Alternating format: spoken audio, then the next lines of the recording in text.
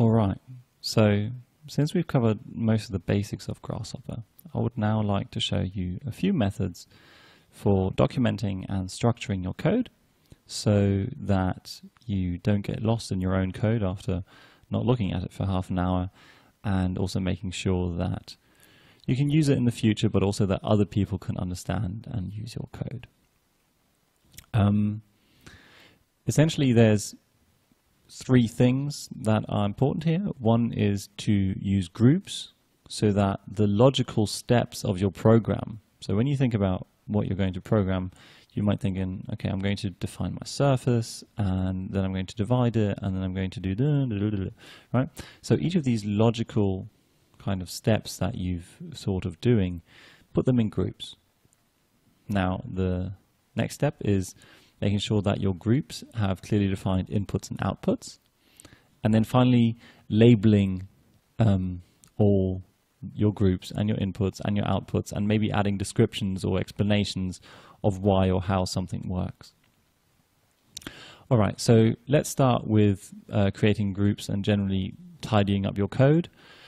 Um, try to drag your components so that you don't have too many crossing lines or uh, objects lying above each other or uh, weird connections like this so that it's easier to, let's say, read your code. Um, so one thing that can help you there is if you select multiple objects, you get these little icons and they let you align things left, right, center, and they also let you um, distribute the space evenly between them. And you'll notice that if you drag things, they sometimes um, snap so that you get straight lines. But that's just an aside. Um, what we want to do here is create a group for one of the steps in our program. Generally what this program, you can see I create a little bit of spaghetti code here, is um, it creates a line, creates an array of this, um, does a subdivision, and then joins multiples of these subdivisions in a semi-random manner and then we create in the end we create window frames in Windows. So the first step is that we create this line at the bottom and so these things belong together, select them, spacebar, and then you can group. Now once you have a group, you can, um, there's several options available to you. You can right click and you can see that you've got different outlines of the groups. So you've got the box, the blob, and the rounded rectangle outline. And you can also cycle through these by double clicking the group. Another thing you can do is if you right click, you can go to the color and select different colors. I like to use colors to indicate what type of group this is. So I would separate into one color, let's say red for um, user inputs or parameters, and uh, maybe have green for, for previews or uh, whatever makes whatever you think makes it easier to understand your code. So you can either do it by function, so let's say um, parameters and outputs and just general code, or you could have things like you've got one thing for all your your framing and one for all your your building envelope, or one thing for your stories, or whatever works for you. Um, I actually like to use these rounded rectangle groups um, because then by dragging certain items slightly out from the group, it's you can visually distinguish them and make it easier to identify what the inputs and outputs and what the parameters are. All right, so that's groups. Um, if you want to add or remove something to from a group, you simply select that object and then right-click into the group. So we can now remove this from the group and add it back into the group. So that's groups. The next thing I said was inputs and outputs. And for that, I'm going to go over to a slightly more complex bit of the code. What's happening here? Well, this is the surface divided into its subsurfaces, and what comes out the other end is a bunch of surfaces that together create the the the frames and the windows. So what I'm going to do is I'm going to create this group that on the one side takes as an input these subsurfaces and spits out these two logical units, namely the frames and the windows. So let's select all of this and go group and we can drag this out easily. Oh dear, maybe drag it down because it's still this bit up here. Okay, so this is our group that's supposed to take care of going from subsurfaces to frames and windows. So let's create some outputs. Now if you need to group certain things together or simply want to give, an, give something a name, you can always use these um, parameter items, these containers. So I'm going to use a geometry container and I'm going to plug in all the geometry that constitutes that uh, constitutes the window frame. So I think it's uh, this and the boundary surface and the second loft and then uh, what is it? There's another boundary surface somewhere. Is it this one? No. Um, loft, loft, boundary. Here it is. There we go. And I'm going to add this to the group. And now you can see if we go to our custom preview, oh dear, the swatch is still part of that group, so let's remove that from the group. Remove from group. Hello, I would like to remove you from the group. There we go. Um, so now instead of having these four lines being dragged from the middle of this spaghetti group to this input, we can use a single connection and our code immediately becomes easier to understand um, and prettier to look at. Now there's one more thing we need to do, namely label these uh, this output, and you can do that by going right click and then let's call this window frames, right? And we could do the same for the windows. So add a geometry box item and call it window pane panes, add it to the group, and then this is the geometry. And now you can already see it's much easier when you look at this group to understand, okay, what does it output? Because the only thing that's connected on the output side are these two things, and you can say, oh, okay, so it outputs window frames and window panes, and you can easily work with this.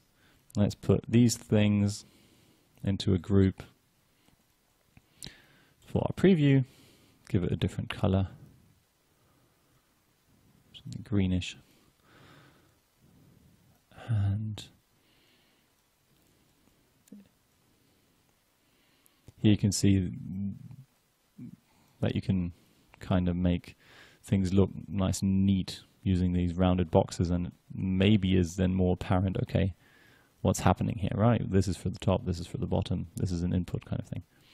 Um, we should um, not only do outputs, but we should also do inputs. So same principle applies here. If we use a single input and then all the multiple uses of this one geometry within the group, they're only connections within that actual group, which means when you drag this around, it's a lot clearer, okay, what does this group need? What does it output?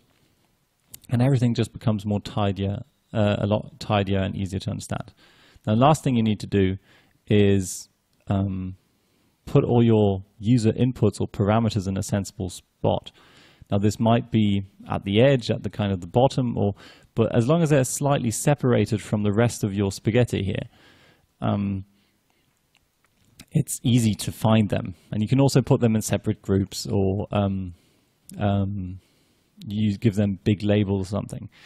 The important thing is that you don't have inputs which read value, right? So always give it something meaningful. So uh, what's this? Uh, yes, this should be the, this is the width of the window frames. So and I know this because I only programmed it, you know, half an hour ago. But um, try asking me in two weeks' time, it would take me a little bit longer to answer that question. What on earth that parameter does? Width of frames. There we go. So that's the one input, and we actually use it twice up here and here. So redundant information is bad. Okay, and the other thing is the the the it's kind of, uh, the the depth of these element elements. So let's go depth of frames. Right, and if we go back to this, you could then have a lot of fun of kind of making this nice and tidy, uh, maybe bringing things closer together so that you get a cohesive chunk of code. Right, so then everything becomes visually you can you can make it easier to understand the code in a visual manner, right? So let's put this up here. There we go. And just tidy things up in general, and um, that way it becomes easier to understand. Now, we I've showed you how to label the inputs and outputs, all the individual objects here. So this should be uh, facade subsurfaces, for example. When it comes to um, labeling the entire group, you can also go right click and then type in a name here, and then you get this little floating name tag. But as soon as you zoom out just a little bit, it becomes totally uh, illegible. Um, so what I suggest doing is using scribbles. If you double click and create yourself a scribble, you can add nice big chunky text. Baseline of facade. And you can change the font size and uh, the font being used here as well. And then you just add that to the group and you get a nicely labeled, easy to read, even from a distance group. So nobody has to know what's going on inside this group uh, in detail, but you can just read the title. Oh, okay, that's what's happening here. Easy to understand. Now, if there's complicated things afoot within your group, it might be sensible to add further scribbles. And by the way, the short code is the tilde, and then you can just type away. So we could do something like um, offset of the, so or maybe something like um, inner. So this is the inner objects, and then we have another label for the outer. And maybe you could make this in a slightly smaller font so it doesn't pop as much. There we go.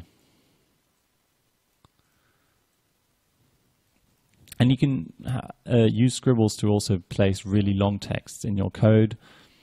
Um, another way to indicate mm, what's important, or if you want to um, kind of put like a concept sketch, I guess, into things.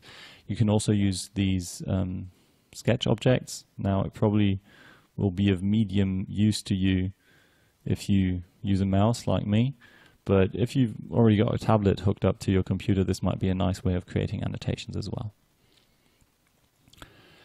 All right, so that's the three important steps in getting legible and easy to understand code is create groups of um, functionally functional units that belong together, give them distinct inputs and outputs, and then label everything. Label your inputs, label your outputs, label your groups, and if need be, add further information for what is happening inside the group. Explain things. Maybe you looked up an algorithm on the internet and you can post the link to that in a little scribble somewhere so that you can then find it later on again. All right, one last thing I would like to show you, namely in a slightly bigger project. Um, once you get larger chunks of code with lots of groups, your connections will go, go all over the place. And there it's, for one, once they pass through various groups, it's usually a good idea to set the display to faint or even to hidden so that it um, doesn't um, otherwise it becomes confusing because you get too many lines going all over and it's harder to see okay what is this connected to what is this connected to and if the groups get really far apart um, instead of zooming in, trying to figure out, okay, where did this go? You can use these jump spots, right? So you can drag these to the various positions that you're using this information in. Um, they're up here in the utility, by the way, jump. And then if you're zoomed in and like, oh, okay, I want to see where this is being used, you double click it and it'll then take you to the other jump point. All right. Uh, thank you for watching and I hope your code remains clean.